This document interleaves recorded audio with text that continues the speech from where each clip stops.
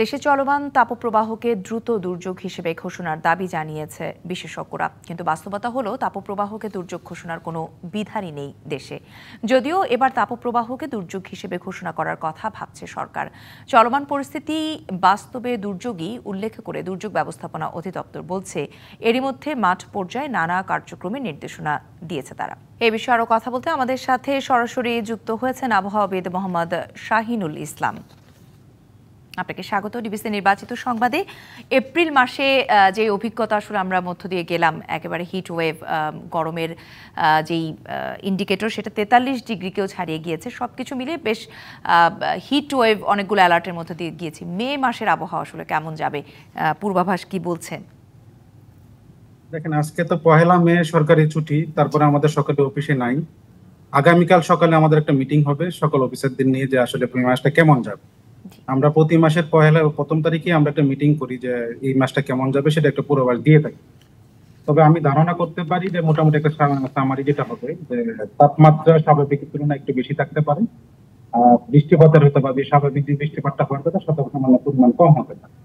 তা আমাদের প্রথম দিকে যে অবস্থা যে পহেলা মে আজকে দুই তারিখ থেকে হয়তো বা সামান্য বৃষ্টি শুরু হতে পারে, বিশেষ করে সিলেট এবং চট্টগ্রামে।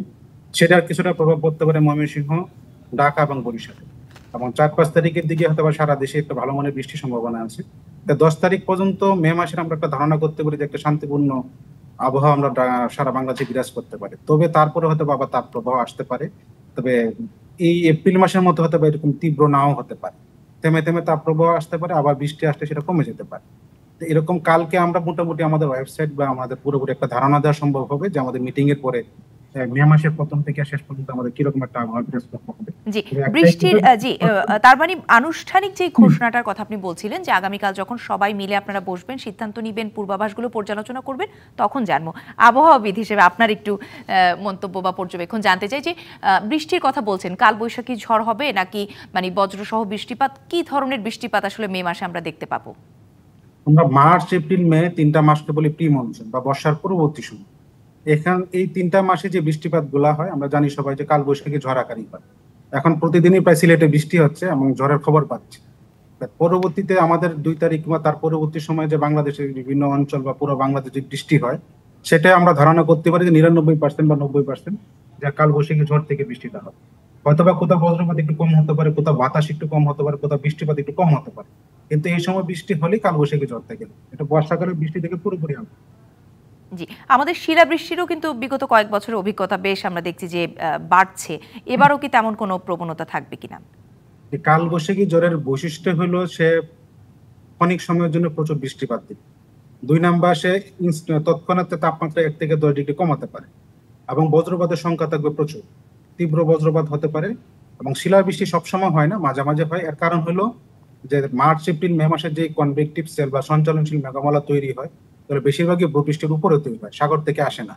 এবং এগুলা প্রায় আমাদের আকাশের দিকে প্রায় আঠারো কিলোমিটার বা বিশ কিলোমিটার পর্যন্ত উঠতে পারে।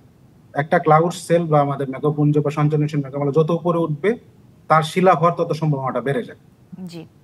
তো যেটি বলছিলেন যে মে মাসে বৃষ্টিপাত কম হবে সেটিকে বিগত বছরগুলোর মে মাসের তুলনায় যেমন বৃষ্টিপাত আমরা পেয়েছি চলতি বছরে মে মাসে তার থেকে কি কম পাবো?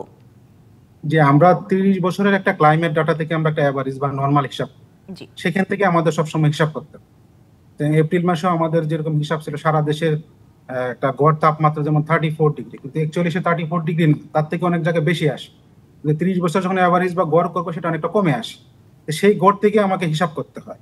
তো এপ্রিল মাস যেটা গেল, এবং মে মাস সামনে যেটা আসছে আমাদের, সেটা আমরা নর্মাল বা স্বাভাবিক থেকে হিসাব করব। সেটাকে আমরা স্বাভাবিক বলব স্বাভাবিক তুলনায় কতটুকু বৃষ্টি কম হবে, কতটুকু বেশি হবে? আমরা ধারণা করছি যে এপ্রিলে, মে মাসে আমাদের স্বাভাবিকের তুলনায় বৃষ্টিপাতের পরিমাণ কম হবে এবং তাপমাত্রা যেটা স্বাভাবিক তাপমাত্রা তার থেকে বেশি থাকতে পারে।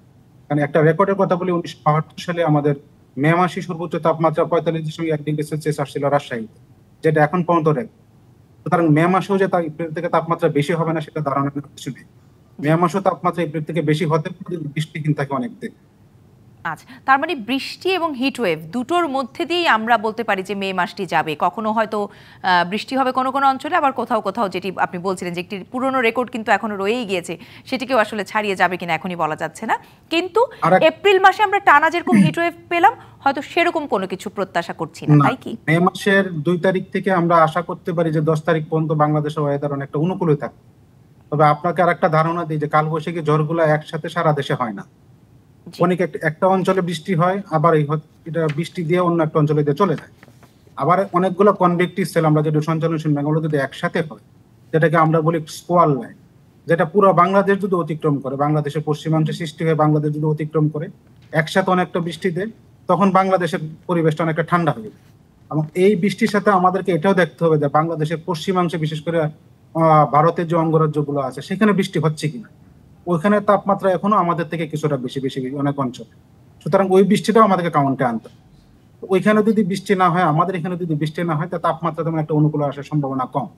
তা আগামী দশ তারিখ পর্যন্ত আমরা যে অনুকূল তাপমাত্রা বলছি, সেটা বেশিরভাগই বৃষ্টিটা দেখাচ্ছে বাংলাদেশের উপর। এবং বাংলাদেশের পশ্চিমাংশে তেমন একটা বৃষ্টির সম্ভাবনা নেই। তো বৃষ্টি বন্ধ হলে আবার তাপমাত্রা স্বাভাবিক আগের মতো ফিরে আসতে পারে দু একদিন কি দুদিন বন্ধ থাকে বৃষ্টি। জি তার মানে দশ তারিখ পর্যন্ত আসলে কিছুটা স্বস্তির খোঁজ আপনাদের কাছে থাকলেও বাকিটা আসলে জানা যাবে আপনাদের যে আগামীকালের মিটিং সেখানের পর থেকে। হ্যাঁ আগামীকালকে ব্রিফিং থাকলে আমরা পুরো মাসের একটা ব্রিফিং দিতে পারব প্লাস প্রতি তিন মাসে কীরকম হবে সেটাও একটা ব্রিফিং জি মোহাম্মদ শাহিনুল ইসলাম অনেক অনেক ধন্যবাদ। আবহাওয়ার পূর্বাভাস বা মে মাসের আবহাওয়া কেমন যাবে সেই সংক্রান্ত একটি ধারণা আমাদেরকে দেবার জন্য যুক্ত হয়েছিলেন। ধন্যবাদ। ঠিক ধন্যবাদ।